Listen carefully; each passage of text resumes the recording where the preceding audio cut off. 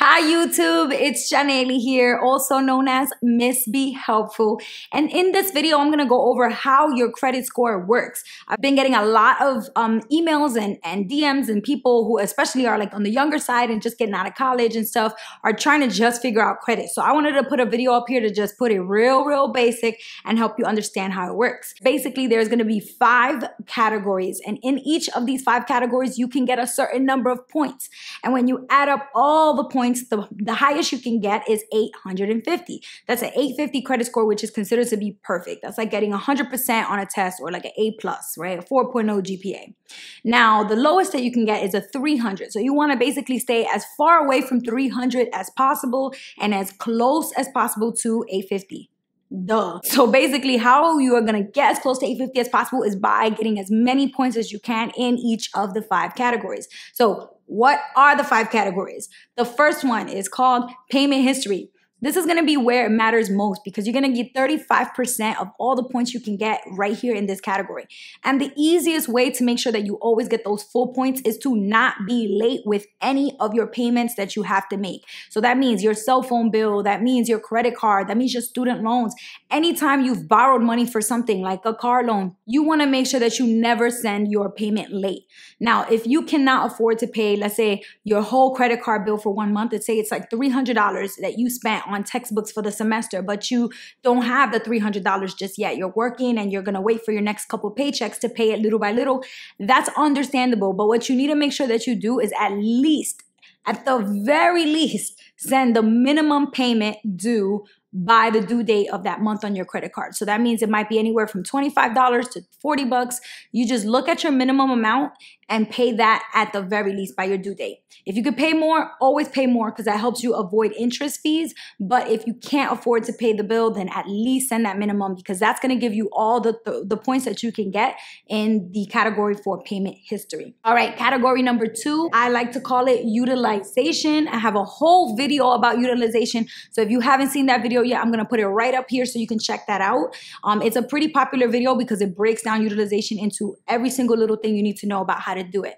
Basically, what this category it, it wants from you in order to get the points here is um, that you don't go close to maxing out your credit card. So this is going to be worth 30% of your score. And basically, what you want to do is only spend a little bit of the money that's available to you on your credit card. Basically, you want to make sure that you don't spend a lot. And, and my trick for this is divide by 10, then spend, because the closer you get to um, not to like one or 2% of spending on your card, the better your score is going to be in this category of utilization utilization or amounts owed. So you just want to try to spend as little as possible. Um, and again, if you have not seen my utilization video, go check that out because I break it down even further and explain all the numbers for you there. The third category of your credit is going to be age of credit. And this is going to be pretty important because it's worth 15% of your score. It's the third biggest category.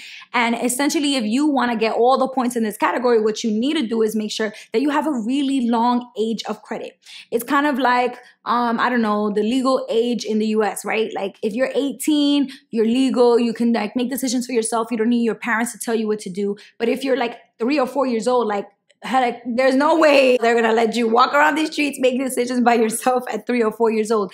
You need to be older to make decisions for yourself. So, same thing with your credit card. It's better when you have more years. The longer you've had credit, the better this category is going to be.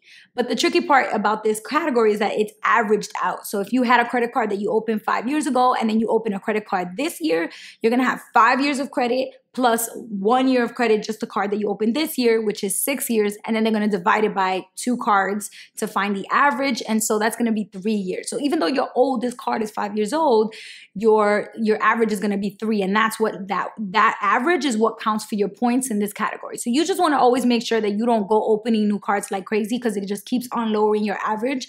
And that way you can add, actually build up your age of credit to be pretty long. If you have five or six years, it counts as fair in the category category of age of credit. But once you have seven years or more, then you're moving up into the category called good or into the score um, zone called good. So that means that you'll get the you'll get close to a, the most points that you can get in this section, which is worth 15% of your score. So you want to make sure that you have you know build built up to like six, seven, eight years of credit, and then you know try to always keep it at that around that average. The second to last category is called new credit, which means every time that you apply for a new credit, like if you're asking for a student loan or if you're applying for a credit card or if you're applying for a car loan, basically every time you put out an application for credit to get somebody to lend you money or give you money for something, that is going to hurt your credit score. And there's two ways that it can happen is they do a hard inquiry, um, which hurts and takes away like five points from your credit score, sometimes less, but usually around five. Or the, it could be a soft inquiry or a soft check, which does not hurt your credit as much.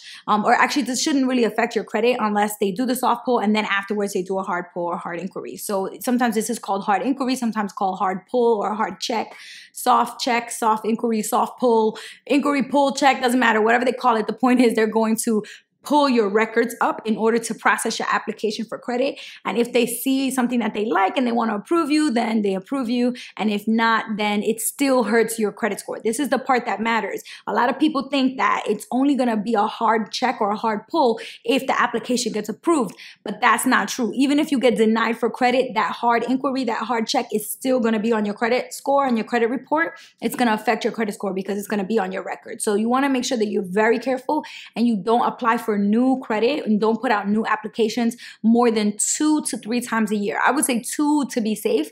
Three is like if you really desperately needed to that to get that third application out maybe like a student loan that you need to go back to school or a consolidation or something. But I really would not push it and do three applications in one year. The last category, like I said, is also 10% of points. And this one is types of credit used. For types of credit used, it is really important that you have a mix of all the different types of credit that you can have. Now, that doesn't mean you should go opening all the different types of credit because that's going to hurt the other category that we just went over called new applications for credit. So you don't want to do that.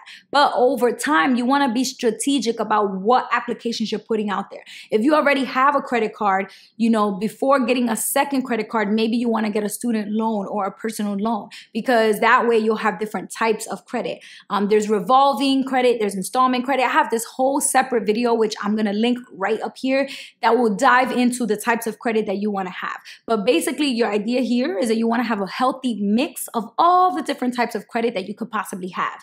And by the end of like, you know, your 30s, um, that's pretty possible. Like at that point, you probably applied for a mortgage if you're gonna get one. You probably have a car loan if you're gonna get one. You probably have a couple credit cards, and if you did go to college and um, take student loans, you probably have that already at that point. So by then, you'll you'll have gotten a little bit of each type of credit.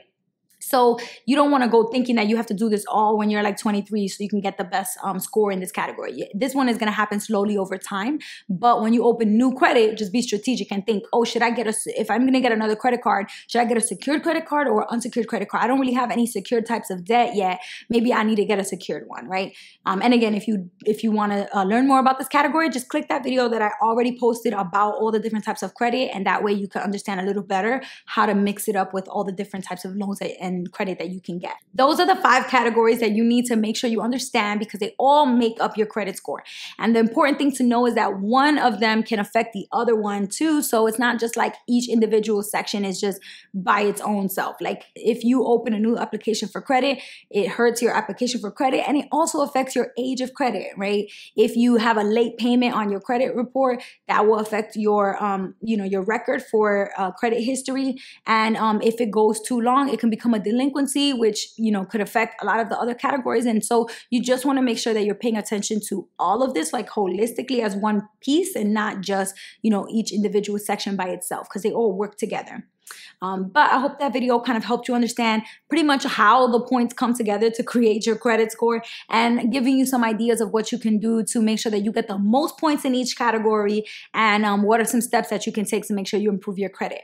If you have any questions, definitely put them down in the comment section below.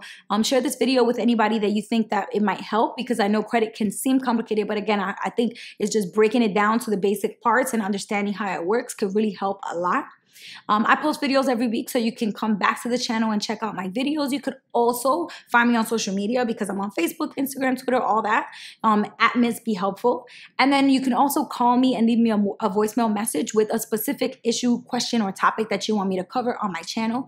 And the number for that is 774 231 8522. You can also email me at missbehelpful at gmail.com. And that's all I have for you guys. Till next time, peace.